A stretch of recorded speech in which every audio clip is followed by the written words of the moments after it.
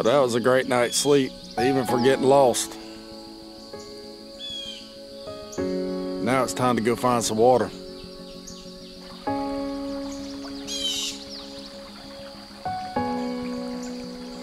Boiling your water is the absolute safest way to kill all the biological contaminants.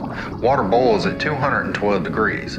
All the biological contaminants die at 165 degrees. So by boiling your water, you are ensuring a safe way to get rehydrated.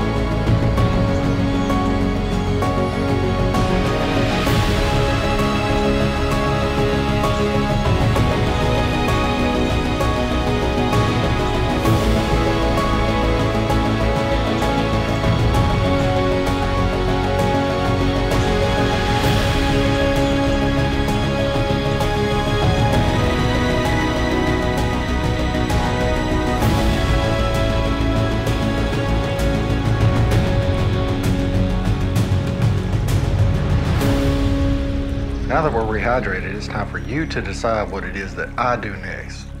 Should we just pick a direction and walk? Or should we find our bearings first?